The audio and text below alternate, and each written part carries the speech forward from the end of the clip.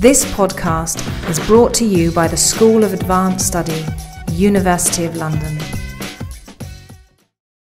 Okay, um, thanks very much. I want to start by saying thank you uh, to Emily for inviting me and to all of the organisers um, for such a great event. I have to say at the start that to some extent I'm not really a specialist in this area, but I am a dabbler and I'm interested in certain aspects of, I suppose, certainly Shakespeare, comedy, and the global, and I think there are some points of intersection that are hopefully relevant to some of the conversations that people have been having here already.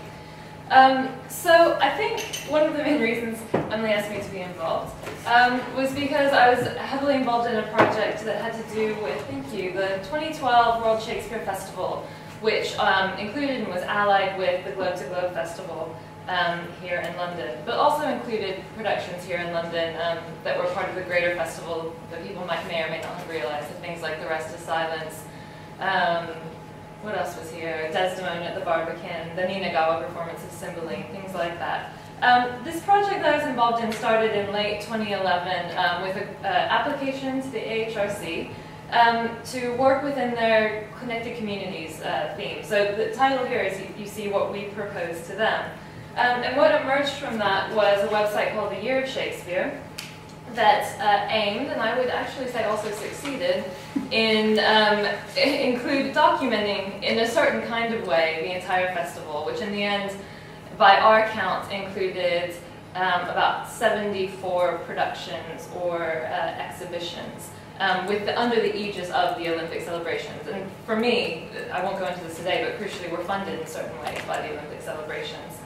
Um, this website is still up, although we're currently in the process of now doing a weird thing of kind of the opposite of digitizing it. We're undigitizing it mm-hmm. um, to save it as um, uh, in the archives of the Shakespeare Birthplace Trust, who hold the RSC archives.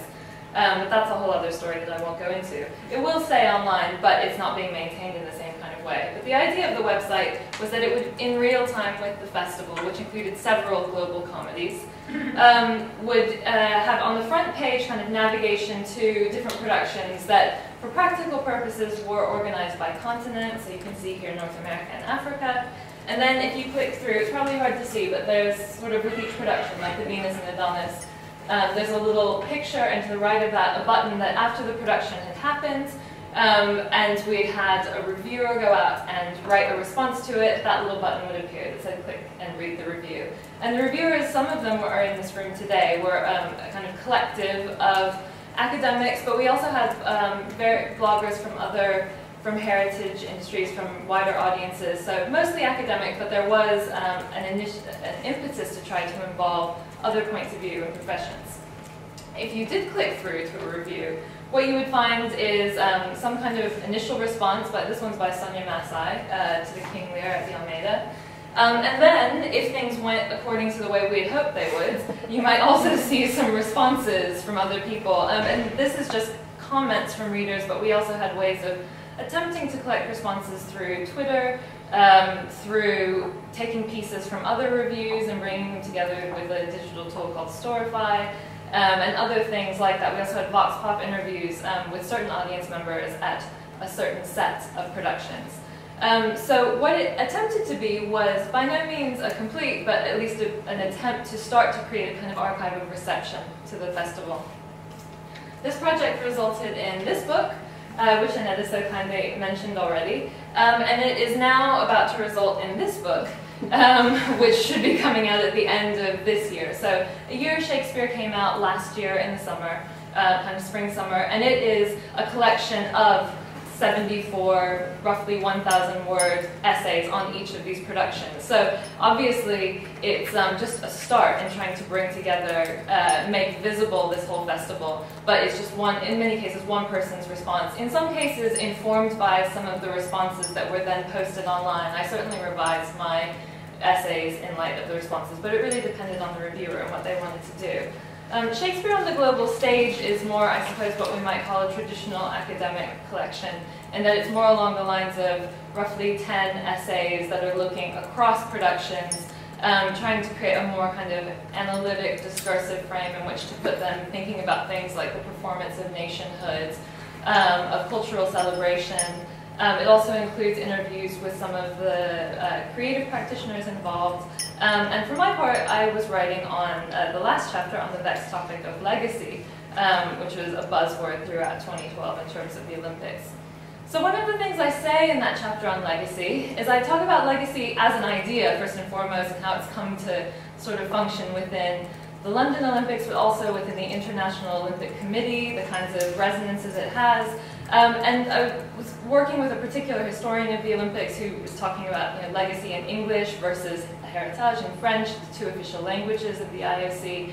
Um, and it made me interested certainly in temporality, if we're thinking about inheritance and legacy as a past thing or a future thing or both at once, and also in its potential um, kind of in a metaphorical but sometimes also in a literal way, its financial resonances. So legacies can also be bequeathed.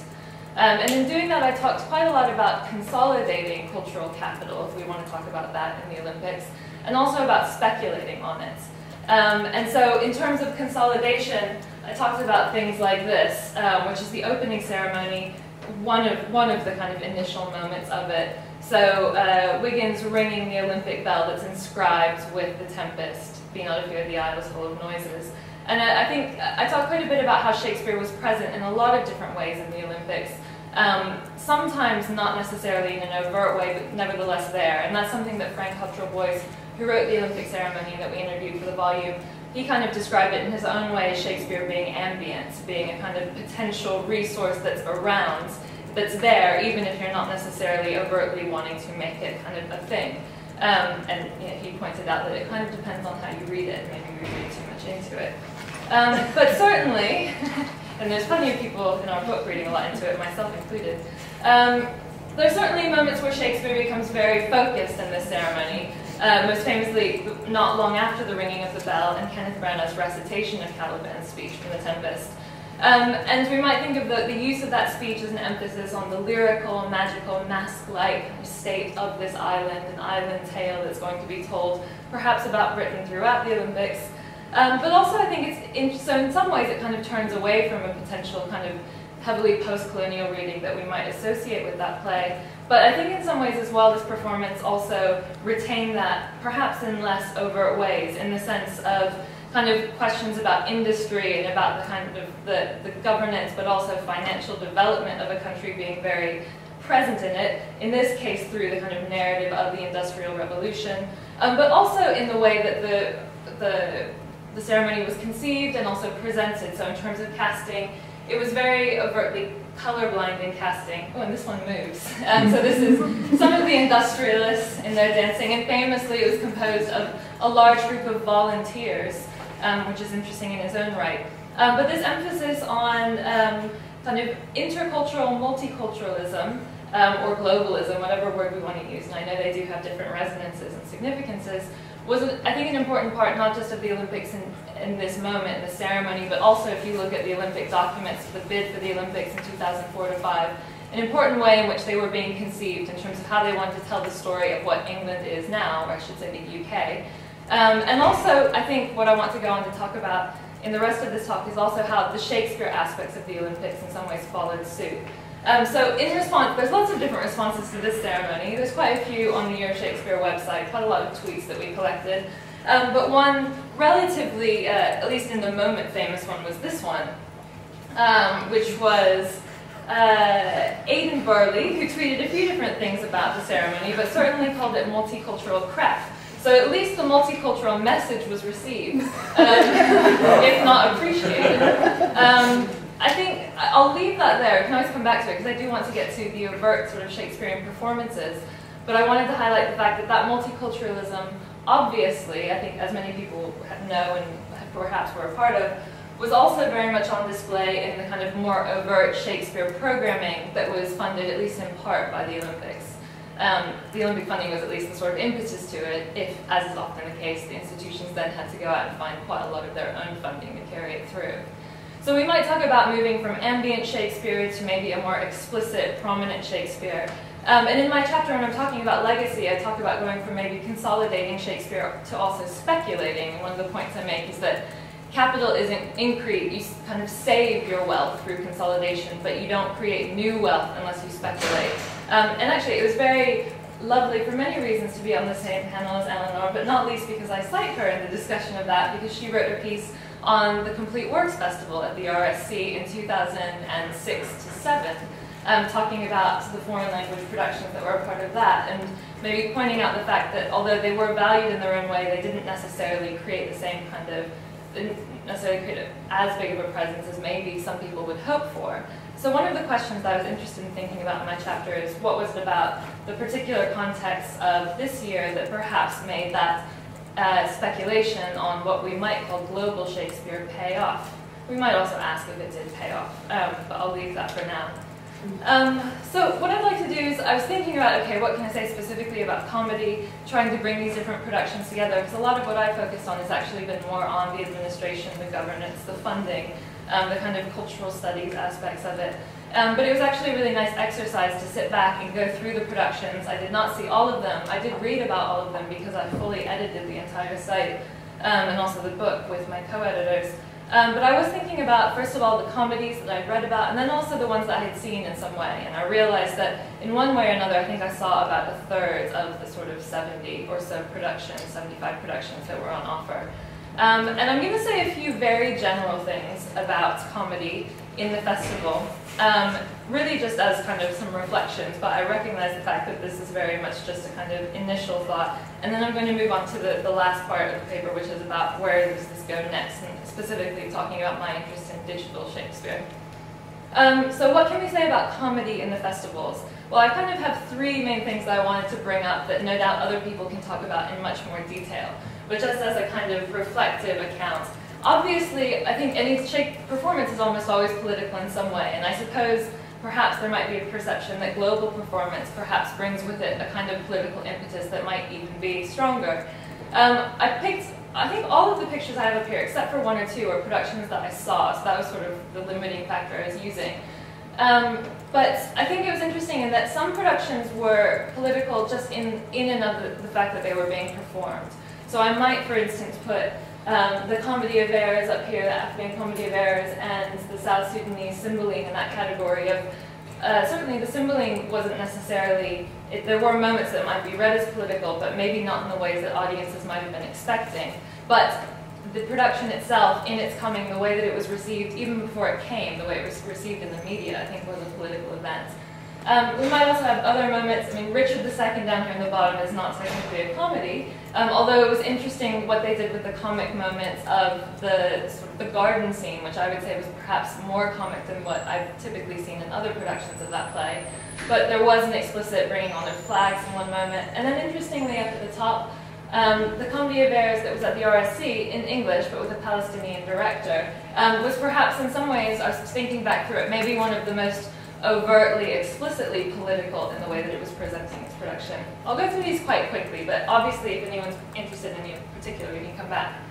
I think the use of music is no doubt very significant, something Eleanor's already been talking about, but music as a way of framing dramatic moments, of communicating them to people like me who either who have who are not fluent in any other language, might have words and things like that, but are not there as a native speaker or even as a second or third language speaker.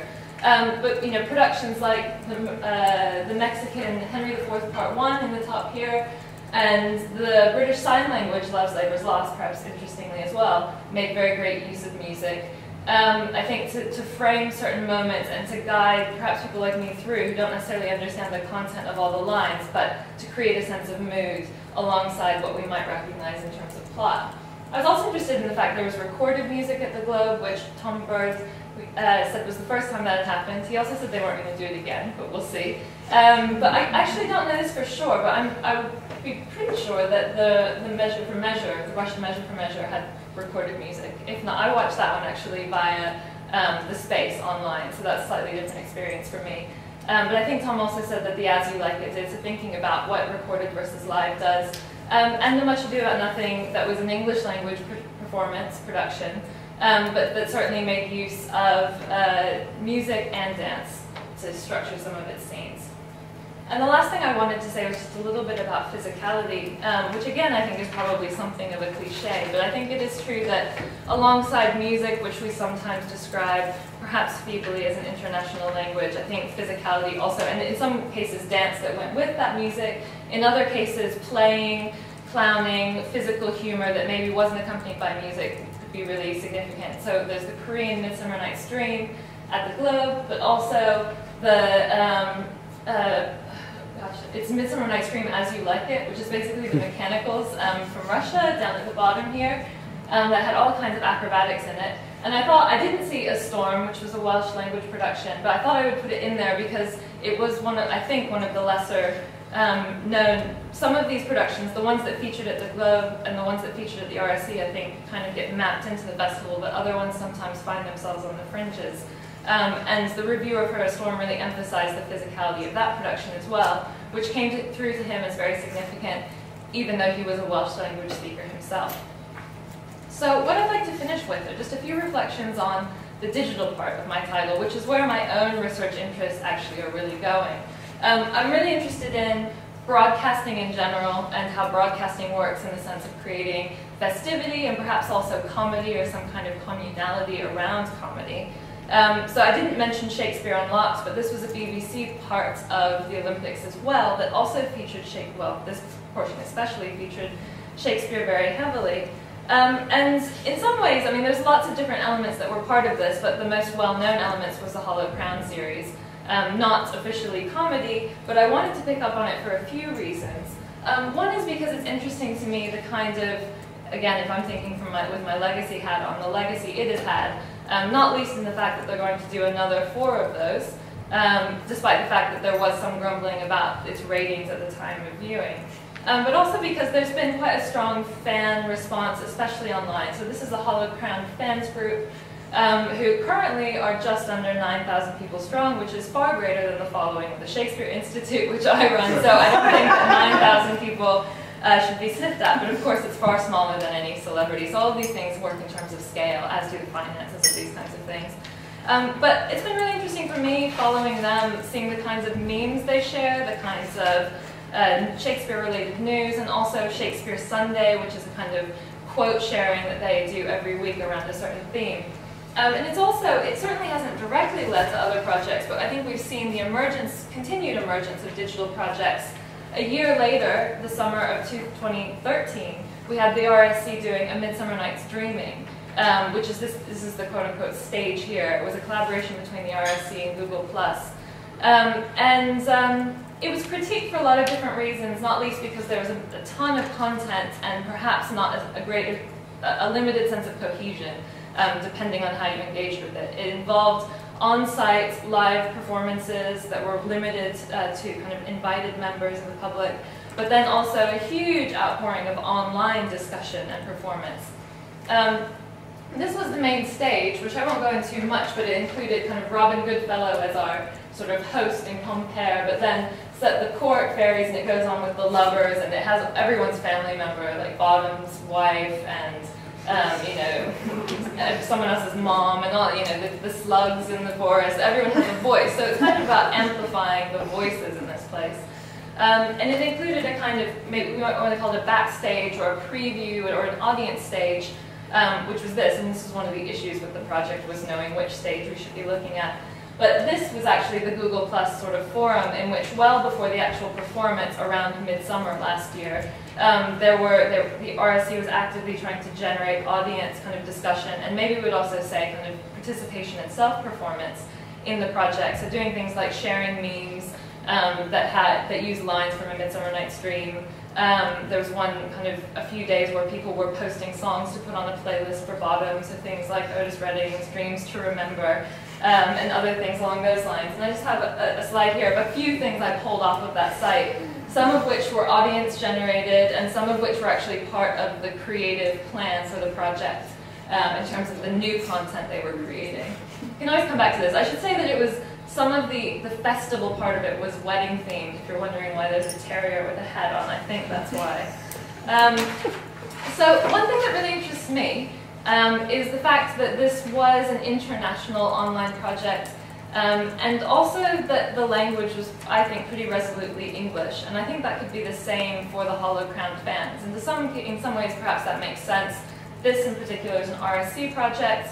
Um, they, for this particular project, expressed a specific commitment to, to Shakespeare's language, having been critiqued very heavily for a previous online project, such Tweet Sorrow, where they still use English, but in some ways modernized or changed Shakespeare's language. Um, but I think it's also something worth considering just in terms of where things are going online, how obviously online uh, platforms make different kinds of culture more available. So in some ways that means a diversity of cultural products. But I also sometimes am interested, wonder the extent to which it also means that certain kinds perhaps become more dominant. Um, so I'm going to finish just with a few slides along those lines. Um, I'm not going to say too much so that we don't get behind schedule. But I, I, was thinking about this. Obviously, with A Midsummer Night's Dream, you know, it seems like it's a comedy, so it makes sense that funny memes would maybe be produced by it. But I was also struck when I was, this is a blog that I started uh, about, I don't know, nine months ago. I was writing something about Coriolanus and at the Donmar and about the, the virtual transmission or the cinematic transmission. And in looking for images, I found lots of memes for this as well, perhaps unsurprisingly because it's Tom Hiddleston. Um, here's a few examples of them which I also struck me as that they are, in their own way, resolutely humorous. Um, coming out of a play that isn't necessarily a comedy. I especially, if anyone saw the play either in person or through the cinema, you'll recognize this moment here in the bottom uh, right, which is uh, after the battle, um, and I like it in Lego. I think it's funny. But this this thing of the, the internet, at least as I'm currently working through it, I'm wondering. I think the internet does humor very well, um, but I'm wondering what the limits of that are or where that goes or if it does other genres or other modes, we might call them too. Um, and this is something that came up a little bit at a conference in Paris that I know some of you all were at in a plenary by Sarah Hatchuel, where she was talking about the fragmentation, the, the, the persistence but also fragmentation of Shakespeare's 90s film in the digital realm. And she showed us a clip, this is a, something I wrote about it, she showed us a clip called Hamlet Gone Viral, which was a high school English student's um, kind of senior project, which I thought was really witty. Used the language of uh, the internet and specifically social media to tell the story of Hamlet. So things like this here, um, or this here. And it was, it was notable how much laughter there was around it, myself included. And it was something that came up in the comments as well about how funny it was and also how by and large, the example she had given of this kind of phenomenon of the digital translation of film was a funny, uh, it resulted in humorous products. Um, and I think in some ways that might be reminiscent from things that we maybe have seen um, you know, in the past years, like the Hamlet Facebook Newsfeed edition, which was published in McSweeney's uh, Internet Tendency. I don't know if people know that, um, but it's Dave Eggers' project um, which also very much, you know, it kind of parody. It, I think the internet is often used as a mode of parody or as a subject of parody. Um, so I guess what I want to kind of conclude with is thinking that in some ways I think that digital Shakespeare works well as a comedy, um, and also that it tends to favor English, and maybe that is simply because that's just what I'm seeing, and that there's lots of other stuff out there that is multilingual, um, and it'll be interesting to see if they come together. I know, for instance, it's hard sometimes to track usage if you're not in charge of the site, but I know from working with the RSC that with A Midsummer Night's Dreaming, although the majority of their audience was from the UK and the US, they did have a significant European contingent, and looking through it, I don't think I saw any non-English in there, so that's just something maybe to think about. Um, and the last thing I wanted to say is that um, I think that, that that element of global Shakespeare is interesting to me. The kind of global Shakespeare that's global in the sense of reaching global audiences, all, often through the way it's broadcast, perhaps through the way that it's funded, through the people who are in it, um, but that perhaps is also um, not global in the way that we, someone like me who is a kind of novice in this field, might expect it to be, translation into other languages or into other forms.